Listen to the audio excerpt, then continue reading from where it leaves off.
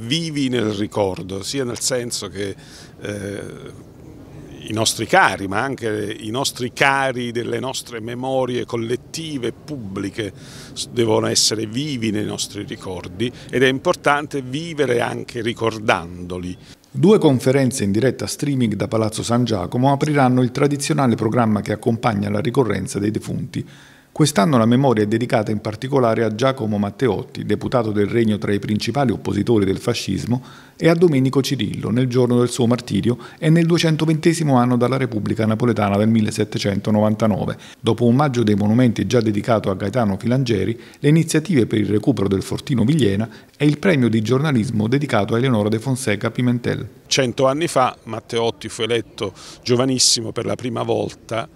parlamentare della Repubblica. E conosciamo tutti il suo grande sacrificio, è una delle personalità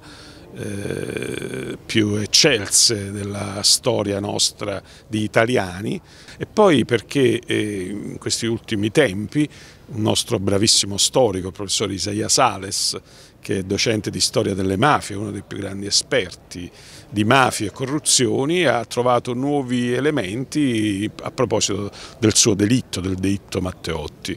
In più abbiamo creato un ponte ideale tra questo sacrificio e quello di Domenico Cirillo, perché Domenico Cirillo, eh, patriota della Repubblica Napoletana nel 799, proprio il 29 ottobre, insieme a degli altri protagonisti di quella pagina fulgida della storia europea, eh, fu appunto trucidato e condannato a morte. Quindi concludiamo con Domenico Cirillo il 29 le celebrazioni